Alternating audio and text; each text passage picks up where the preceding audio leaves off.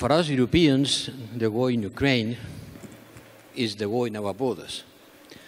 But it's not an European issue.